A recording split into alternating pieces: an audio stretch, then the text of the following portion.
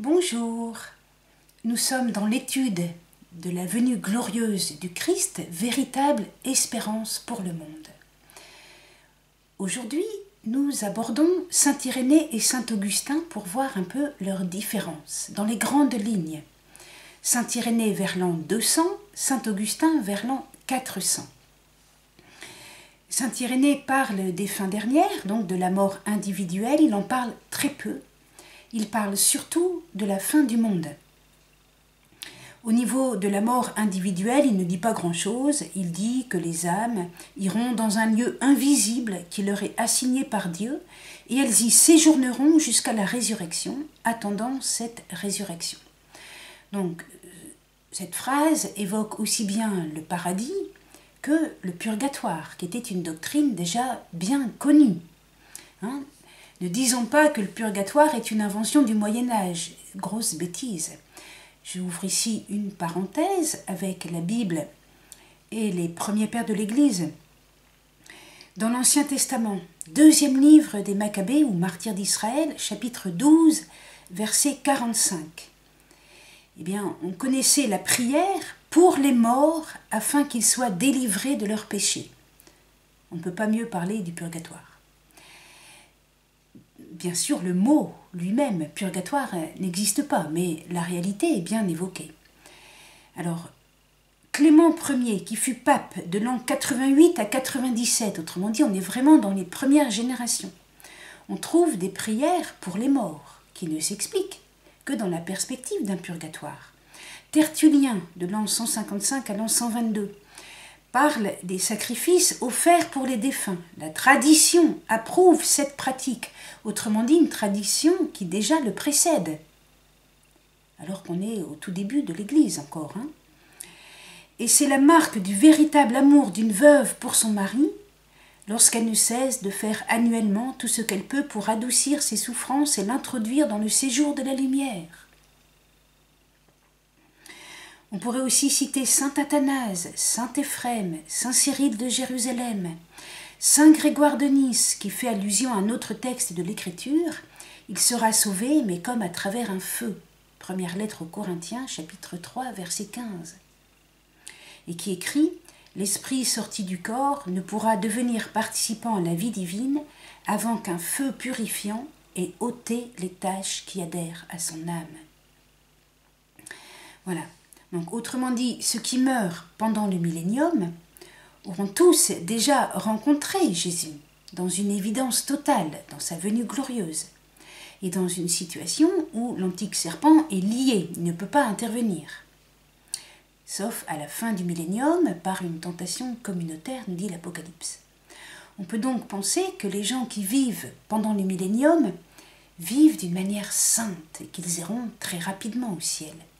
Mais ceux qui sont morts avant, avant la venue glorieuse, eh bien, il y en a un certain nombre, pour ne pas dire un grand nombre, qui passent par le purgatoire. Eh bien, au moment du millénium, les justes qui sont sur la terre vont intercéder, vont être très solidaires des personnes qui sont dans le purgatoire pour hâter leur entrée au paradis. Il y aura une grande charité, bien sûr, et on voit déjà que plus on approche de la fin des temps, plus les révélations privées insistent sur la prière pour les âmes du purgatoire. C'est bien normal. Et à la fin de ce temps du millénium, eh bien, il n'y aura plus de purgatoire. Alors, toutes les questions de la relativité du temps entrent ici, bien sûr, en jeu. Hein. Et ce sera soit le paradis, soit l'enfer. Il n'y aura plus d'intermédiaire. Alors, sur la fin du monde, c'est là que Saint Irénée est le plus prolixe. Hein. Nous avons déjà dit son scénario en trois étapes. L'Antichrist qui est chassé par la venue glorieuse du Christ, le millénium ou temps du royaume des justes et l'entrée dans la vie éternelle. Seulement, son traité contre les hérésies, eh bien, n'a pas été connu et transmis correctement. C'est Erasme qui providentiellement, donc Erasme 1467-1536, après bien des siècles d'oubli, nous a fait connaître ce traité contre les hérésies, mais dans un texte tronqué, dans un texte où il manque toute la finale.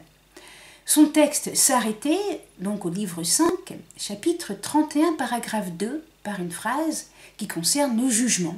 Une fois ressuscités, nous serons élevés au ciel, tous ceux d'entre nous, du moins, que le Seigneur aura jugé dignes. La tonalité est sur le jugement. Mais lorsqu'on a la vraie finale, qui est au chapitre 36, verset, euh, paragraphe 3, cette vraie finale insiste sur la contemplation du Verbe. Si vous voulez, la venue glorieuse du Christ ouvre les vivants à la contemplation. Et c'est comme cela qu'elle les accoutume à l'éternité. Voyez comme c'est beau. La venue glorieuse, c'est pas d'abord pour un jugement. La venue glorieuse, c'est pour une révélation ultime, une contemplation. Comme c'est beau, comme c'est positif, comme c'est désirable. On comprend le cri de la prière de l'Apocalypse. Viens Seigneur Jésus, Maranatha. On désire le voir. On désire le voir, on désire le voir. Alors, il est vrai que la description du royaume des justes comporte aussi une certaine exubérance matérielle. Hein. On a des épis de blé qui portent beaucoup de grains. On a des grappes de raisin qui portent beaucoup de grains. Et des grains qui sont grands, gros, qui donnent beaucoup de vin. Alors on a critiqué Saint Irénée. On lui a dit, mais il a copié. Il a copié? Oui, il a copié de Papias. Ou bien il a copié de l'Apocalypse de Baruch. Mais très bien. Pourquoi il n'aurait pas copié? Il peut avoir copié des images, mais n'empêche qu'il les a fait siennes. D'ailleurs, l'évangile de l'Ascension ou des apparitions du Christ ressuscité déjà, nous invite à comprendre qu'il y a bien quelque chose de corporel. Lorsque le Christ est ressuscité, il mange avec les apôtres. Mais bien sûr, ce n'est pas un corps comme le nôtre. Ce n'est pas un corps biologique comme le nôtre. Il passe à travers les murs du cénacle, à toute porte fermée. Et au moment de l'ascension, les anges, que disent-ils aux disciples? Les disciples regardent, le Christ levé vers les cieux. Et les anges disent aux disciples, il reviendra. De la même façon que vous l'avez vu s'élever dans la gloire, il reviendra. Autrement dit, il y a bien quelque chose de corporel dans la venue glorieuse du Christ. Et Saint Irénée peut bien utiliser des images corporelles. Et on peut même dire que ce sont des images eucharistiques. Hein, ça parle beaucoup du blé et du raisin, autrement dit du pain et du vin, autrement dit de l'Eucharistie. La venue glorieuse du Christ tant eucharistique, avec toute la dimension corporelle que cela implique, bien sûr. Alors pourquoi Saint Irénée insiste-t-il si fort? C'est parce que, rappelons, l'hérésie très importante de son époque, mais aussi de la nôtre, c'est celle de la gnose. Or, la gnose méprise justement le corps, la matière, avec deux conséquences soit on méprise tellement le corps et eh bien qu'on ne mange plus quasiment, quoi, qu'on n'a plus les pieds sur terre, soit on méprise tellement le corps qu'on fait n'importe quoi avec le corps, toutes les impuretés. Et Saint Irénée insiste beaucoup sur les réalités corporelles parce que justement, dans son traité contre les hérésies, il lutte contre les gnostiques, qui étaient relativement nombreux dans la ville de Lyon. Bien. Maintenant, venons-en à Saint Augustin. Donc, Saint Augustin, c'est date 354 à 430, grosso modo l'an 400. Lui, il commence par dire la même chose que Saint Irénée. Je cite le sermon 259. Je le répète, ce huitième jour figure la vie nouvelle qui suivra la fin des siècles. Autrement dit, huitième jour, l'éternité. Comme le septième désigne le repos dont jouiront les saints sur cette terre, autrement dit le royaume des justes dont nous parle Saint Irénée. Car le Seigneur y régnera avec les saints. Donc il y a deux significations différentes. Hein. Les saints qui sont les morts ressuscités qui apparaissent avec le Christ, mais qui ne se réincarnent pas, bien sûr. Et puis les saints, les justes qui ont passé l'épreuve eh bien de l'avenue glorieuse du Christ, qui est aussi un jugement, et qui sont sur cette terre. Donc il appelle cela le septième jour. Après que les sept âges de ce monde qui passent seront écoulés et révolus, nous retournerons à cette immortalité bienheureuse. Bien. Seulement, ça c'est un sermon. Un sermon, ça passe parfois un peu inaperçu. Mais son œuvre magistrale, qui s'appelle La Cité de Dieu, va dire autre chose. Cité de Dieu, livre 20 et livre 22. Alors, le livre 22, chapitre 30. Qu'il suffise de savoir que le septième sera notre sabbat, qui n'aura point de soir, mais qui finira par le jour dominical, huitième jour et jour éternel, consacré par la résurrection de Jésus-Christ et figurant le repos éternel, non seulement de l'esprit, mais du corps. Autrement dit, au livre 22, il dit il n'y a pas besoin de donner des détails. Il n'y a pas besoin de donner de détails. Mais au livre 20, chapitre 7, il est encore plus négatif. Il dit Devant Dieu, un jour est comme mille ans, et mille ans est comme un jour. Deuxième lettre de Pierre. Six mille ans s'étant écoulés comme six jours, le septième, c'est-à-dire les derniers mille ans, tiennent lieu de Shabbat aux saints qui ressusciteront pour le solenniser. Tout cela serait jusqu'à un certain point admissible si l'on croyait que durant ce Shabbat, les saints jouiront de quelques délices spirituelles à cause de la présence du Sauveur, et j'ai moi-même autrefois été de ce sentiment. Sermon 259. Mais, comme ceux qui l'adoptent disent que les saints seront dans des festins continuels, alors on voit les exagérations charnelles. Il n'y a que des âmes charnelles qui puissent être de leur avis. Aussi les spirituels leur ont-ils donné le nom de Kiliaste, d'un nom grec qui se traduit littéralement par millénaire.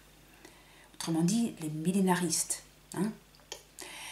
Alors, on voit bien Saint Augustin. Au début, il pensait comme Saint Irénée, et puis comme il voit des gens qui exagèrent dans un sens charnel, eh bien, il change d'avis.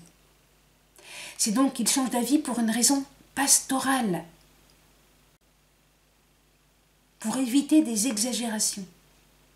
Un peu comme à notre époque, on verrait les témoins de Jéhovah qui exagèrent beaucoup de choses, et alors on dit Ah, il ne faut pas parler du royaume des justes parce que c'est les témoins de Jéhovah.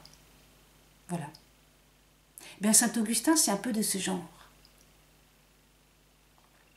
Alors il continue, il continue des explications, Satan sera lié, bon, on a bien compris l'Apocalypse. Et ensuite, pour les mille ans, on peut les entendre de deux manières. Et alors il va dire, bah, c'est soit le sixième millénaire, soit le huitième, c'est-à-dire c'est soit le temps de l'Église, soit l'éternité. Autrement dit, il n'y a plus de consistance à la venue glorieuse du Christ. Il n'y a plus de royaume des justes. Quand le Christ reviendra, selon saint Augustin, ça change rien par rapport à la mort individuelle. C'est simplement la mort. On passe du temps de l'Église au temps de l'éternité on passe du temps actuel au ciel ou à l'enfer. Autrement dit, la venue glorieuse du Christ, c'est juste un jugement, comme à la mort individuelle. Alors qu'est-ce que ça change? Et alors, pire, comment comprendre toutes les paroles des paraboles ou même de Jésus dans ses discours qui nous parlent même de la prière du Notre Père, du règne de Dieu sur la terre? Et comment vont s'accomplir toutes les paroles de l'Ancien Testament qui vont dans ce sens, y compris les psaumes? Le psaume 2 déjà, par exemple.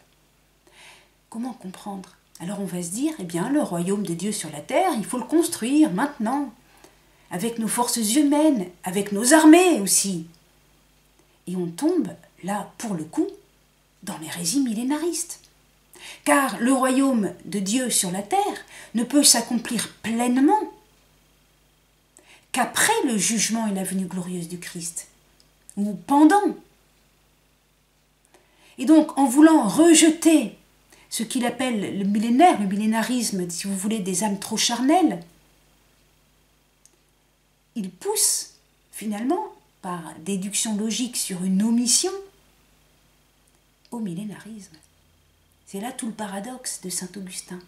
Alors bien sûr, il va falloir plusieurs siècles pour développer les erreurs mais en enlevant une pierre à l'édifice, c'est-à-dire cet enseignement que Saint Irénée nous disait de ne pas oublier, que Saint Pierre, dans la deuxième lettre de Pierre, chapitre 3, nous disait il ne faut pas l'oublier. Bien lui, en l'oubliant, il ouvre la porte finalement à des erreurs que nous allons étudier. Merci, au revoir, à bientôt.